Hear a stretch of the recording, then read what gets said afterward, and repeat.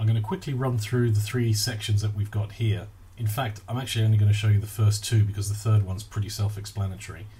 So firstly, the activation code section. If I click on this button here, it will show me a list of all the activation codes that I've ever generated on my account.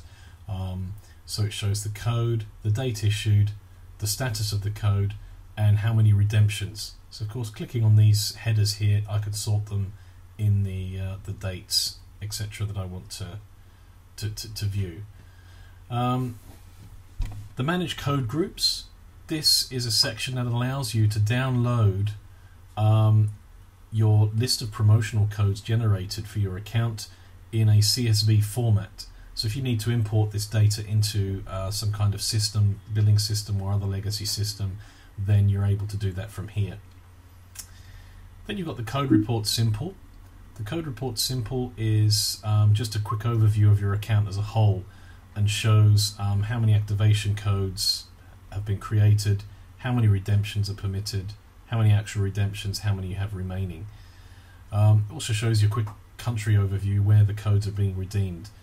Um, in addition, there's a quick look at um, some certain time periods when codes were redeemed as well. Uh, just gives you an idea of uh, the, the, the activity for your codes. Then you've got the code report advanced. The code report advanced, again, on the left hand side has a quick overview um, of your account.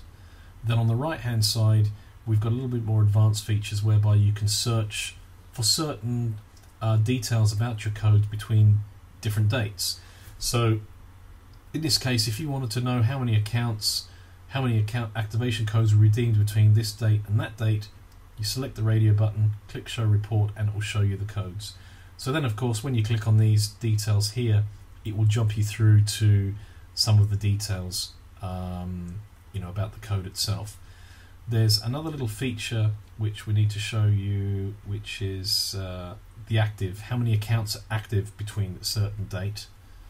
So this will show you um, uh, the user ID, the code used, the date it was activated, and this will show you how much space the user is using and the limit that they have and how many devices they've had.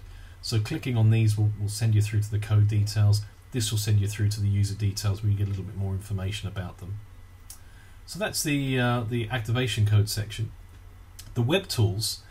Uh, this is more for white labeling um, services. So um, in the case that you want to have the uh, your own custom logo at the top here. Normally, what would appear here is the Cellulike logo. logo.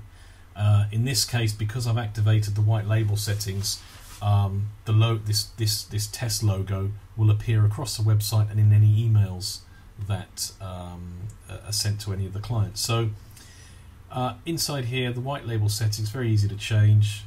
The logos, you simply um, click through till you get to the to the actual stuff that you need to edit.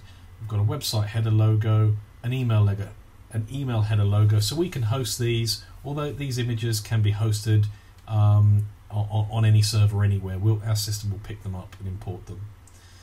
So going back to the home page, the white label referrer link. This link is essentially a link that you would that would use on a on a forwarding domain or to send to give to customers directly in order for them to land on the Cellulike website with the custom logo. Okay, so each uh, distributor has a different ID number. In this case, it's number 14. Um, uh, so you, you, know we give that out. You could put that in a DNS as a C, uh, uh, as, as a forwarding address. So you could have something like yourtelecomcompany.com, and it would forward automatically to this URL. After which it would uh, display the logo. Then we've got the API services here. API services, in order to access our web services, you need a key. All the keys are stored in here. Um, so uh, you can also see API logs. So we, we, we, anything to do with the API we log um, in, in the database in order for troubleshooting purposes. So at any time your developers can log in and, and see um, certain transactions that are happening. It's also good for us if there's a trouble, an issue somewhere, we can troubleshoot very quickly just by looking into the logs. So that's the um, the distributor's dashboard. Oh, one more, more one more item that I wanted to point out is on on the homepage here we have the the activation code search.